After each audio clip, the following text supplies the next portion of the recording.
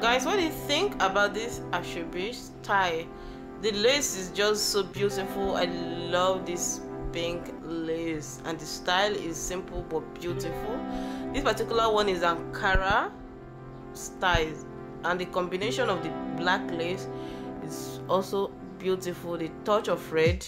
You guys are going to be seeing both ankara and lace styles they are all beautiful lace styles on this particular video. So just stay tuned. In case you are looking for that asoebi style just make sure you watch this video to the end because i know you are going to be loving all these styles.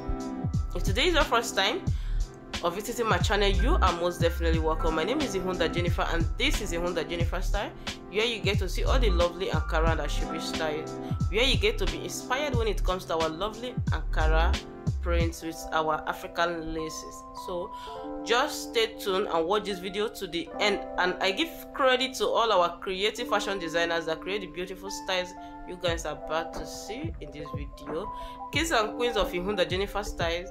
See you guys on the next video. Bye for now